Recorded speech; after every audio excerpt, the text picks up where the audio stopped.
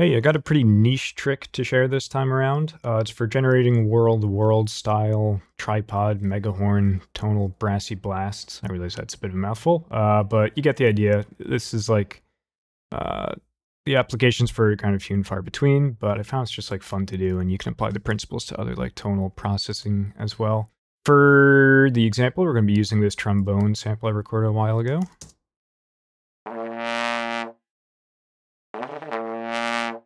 That's a Berklee education put to use right there. Uh, I like this last variation in particular. It sounds almost like it's clipping the microphone, but it's just like me playing with terrible technique. Um, to start out, I'm going to like stretch it out down to about half rate thereabouts. I mean, that's already sounding pretty cool. This isn't recorded with the Sanken or any special microphone, by the way. It's just, uh, you can see it's like all mid-range content. Um, so don't worry about spending like $3,000 to get this sort of source material. And you can, by the way, you can use this on like contact instruments works and whale songs, metal groans, really slow bird calls, you name it. Uh, it doesn't have to be a brass instrument in particular. Uh, I'm leaving Pro L on at the end the whole time just for safety purposes, but we're going to start the chain with Subsynth. You can hear it's just generating some subharmonics. Uh, I'm going to dial it back a little bit to like 30%. There'll be more sub to come later on, but I think that's a good starting point. I'm using phase distortion to generate harmonics from those subs, uh, sub frequencies we just generated. Well, too much of it would be like this.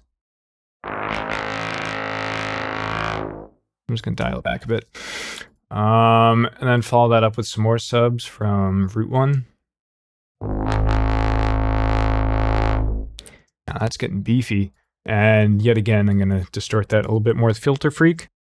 Uh, the input's being driven pretty hard, and it's on the dirt setting, because that's my favorite one. Um, and then there's also like a low pass filter that's doing the like talking valley thing by having some random modulation that's moving it up and down. Um, very farty, nice. I'm following that up with Timeless. Uh, this is to do some sort of like flanging. It's set to 19, about 20 milliseconds there. Uh, doing like comb filter with like very, very, very subtle modulation. You can see there's only that much. Sounds like this.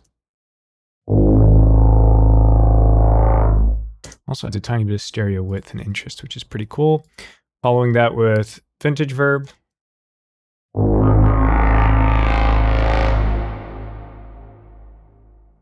I know reverb makes everything sound better, so it's a little bit cheating. But uh, for these types of sounds, they like really benefit from some tasteful dark reverb happening.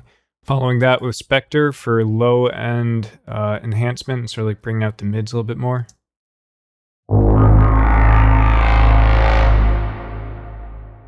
Just gives it more presence. Uh, and then Brainworx Control for collapsing uh, some of those sub frequencies down to mono, and then overall bring the stereo width down to 87%.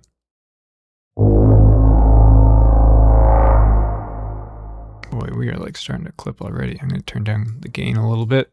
Uh, Gullfoss to tame some of the uh, frequencies that poke out a little bit.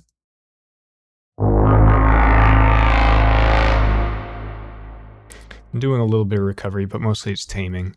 Um, and then Soothe for the same purpose.